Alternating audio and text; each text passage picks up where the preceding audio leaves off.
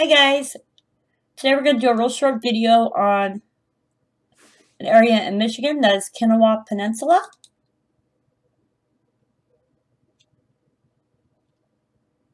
Keweenaw.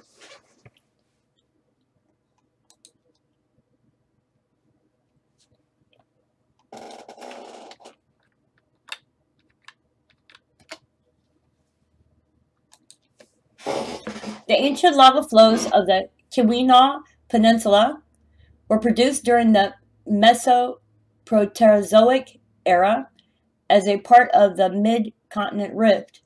This volcanic activity produced the only strata on Earth where large-scale economically recoverable 97% pure native copper is found.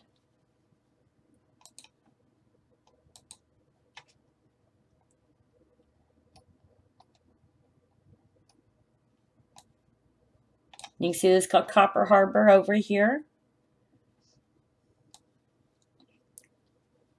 This is just a really short video, so please stay tuned to our next video, which will be on Arkansas.